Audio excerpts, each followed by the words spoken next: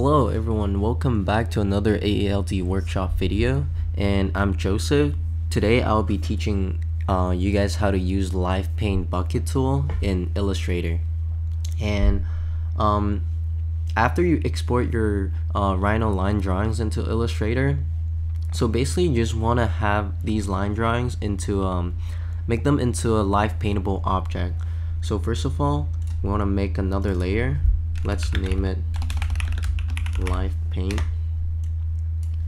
And then go back to the line drawings layer select everything copy make sure to lock it and go back to the live paint layer control shift V. So it will paste on top of the original object and make sure to put the live paint layer underneath the, um, the line drawing layer because after you like live paint it won't um, covers up the original line drawings. And uh, after you copy and paste it go to object live paint make.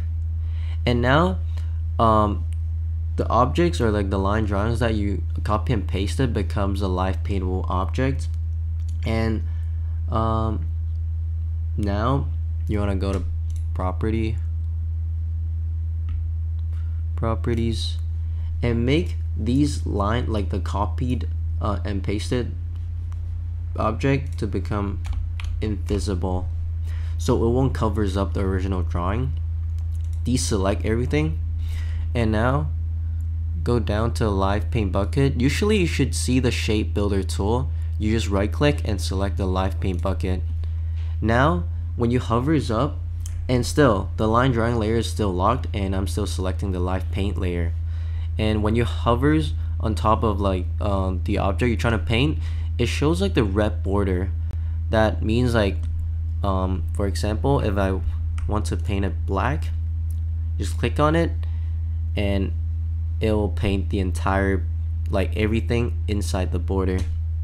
And this tool is like really handy to some situation because like you can just paint um, different objects in Illustrator really fast. And of course subscribe to AALD and other than solid colors these like gradient color that you can select in the middle will also work fine for the live paint um, for for for live paint bucket. And someone might ask like oh i have like colors underneath and i actually want to put like another layer of uh, paint on top of it. For example like it, it will also work with like patterns and it's actually really easy. Again you just first of all lock the original like the first live paint layer because you're not working on it anymore. Unlock the line drawings select everything copy and since you want to make another live paint layer on top of it you make another layer. Let's name it live paint tool live paint 2 and then lock the original drawing layer select the live paint 2 control shift V again so it will like paste it on top of the original object. Again go to object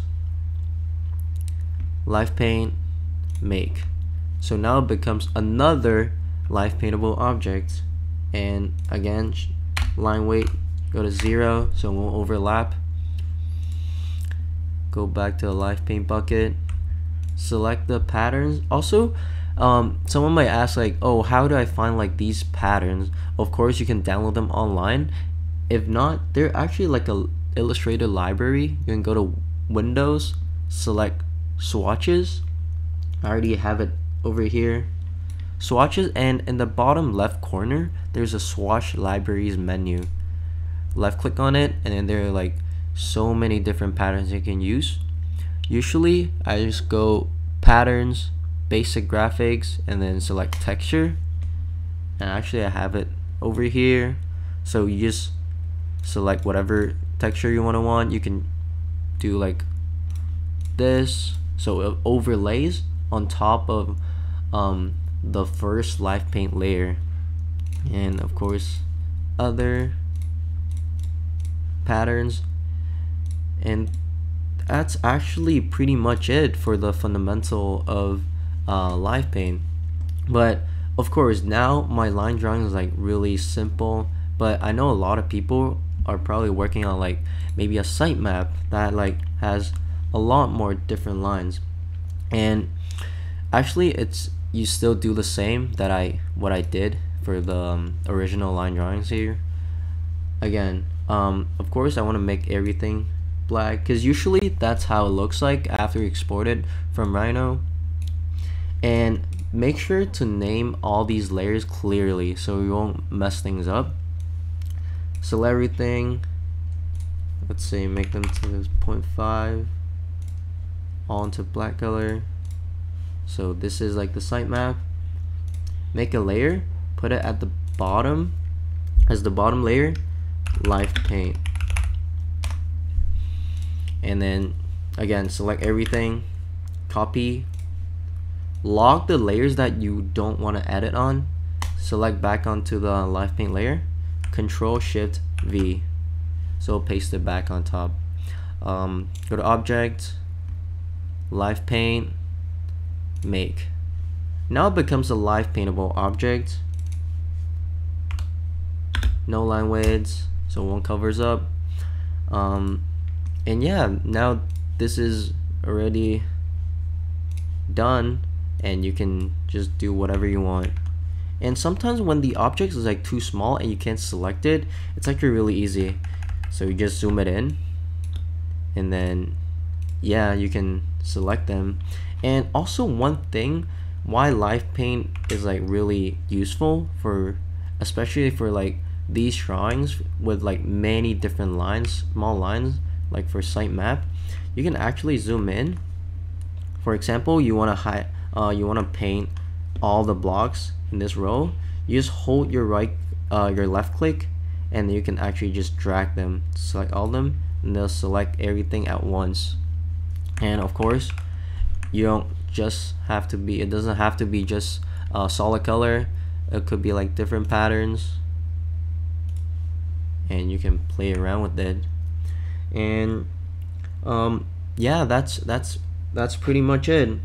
And also at the end um, some friendly reminder make sure you have your non-editing layer locked with uh, clear naming for each layer and make sure to select on the right layer before you um, before you do the live paint and there you go um, please subscribe to AALD and follow our Instagram and Discord where we post our uh, some of our workshops, portfolio reviews, and some office hours for uh, Daniels students. And yeah, thank you so much.